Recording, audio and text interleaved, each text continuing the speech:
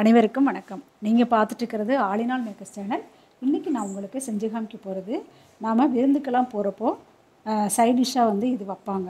Jam வைப்பாங்க. அதை தான் நம்ம இப்போ எப்படி பண்ணுறதுன்னு பார்க்க போகிறோம் தக்காளி ஜாமுக்கு உள்ள பொருட்கள் என்னென்ன அப்படிங்கிறது நான் டிஸ்கிரிப்ஷன் பாக்ஸில் கொடுக்குறேன். நீங்கள் அங்கே போய் பார்த்துக்கலாம். வாங்க இது எப்படி பண்ணலான்னு பார்ப்போம். மீடியம் சைஸில் ஒரு எட்டு தக்காளி எடுத்துகிட்டு நல்லா வேக வச்சுக்கணும். ஒரு பத்து நிமிஷம் வேக வச்சு எடுத்துக்கலாம்.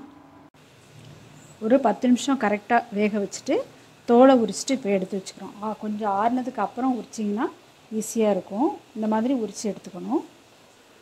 இதை எல்லாத்தையுமே நம்ம மிக்சியில் போட்டு நைஸாக அரைச்சி எடுத்துக்கலாம். இப்போது நல்லா நைஸாக அரைச்சி எடுத்துக்கேன் இப்போ அடுத்தது ஒரு ஃபில்ட்ரு வச்சு நம்ம வடிகட்டி எடுத்துக்கலாம். இப்போது நல்லா ஃபில்ட்ரு பண்ணி எடுத்துட்டேன். ஸ்டவ்வை ஆன் பண்ணிவிட்டு ஒரு பேன் வச்சுருக்கேன்.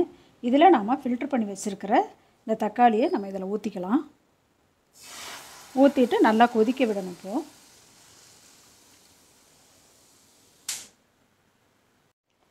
இப்போது தண்ணியெல்லாம் சுண்டி நல்லா ஓரளவு இது பண்ணி வந்திருக்கு. இதில் வந்து ஒரு அரை கப் அளவுக்கு ஜீனி போட்டுக்கலாம். அரை கப்பு ஜீனி சரியாக இருக்கும். போட்டுட்டு மறுபடியும் நம்ம மெல்ட் ஆகும். மறுபடியும் நம்ம கிளறிட்டே இருக்கணும். இப்போது கரெக்டான பதத்துக்கு வந்திருக்கு. இதில் வந்து அரை ஸ்பூன் பட்டைத்தூள் போட்டுக்கணும். நெக்ஸ்ட்டு அரை ஸ்பூன் ஏலக்காய் தூள். போட்டுட்டு நல்லா மிக்ஸ் பண்ணிவிட்டு இப்போது ஸ்டவ் ஆஃப் பண்ணிவிட்டு இறக்கிக்கலாம். அருமையான தக்காளி ஜாம் ரெடி ஆகிருக்கு பார்க்கவே வந்து ரொம்ப அழகாக இருக்குது பாருங்கள் டேஸ்ட்டும் ரொம்ப அருமையாக வந்திருக்கு.